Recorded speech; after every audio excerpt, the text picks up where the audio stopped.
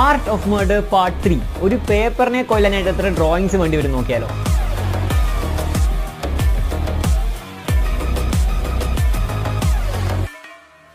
Bloody sweet.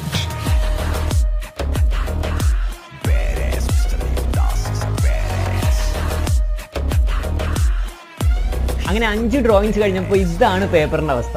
ഈശ്വര ഇത് ചെയ്തവനെ കാണിച്ചു തന്നെ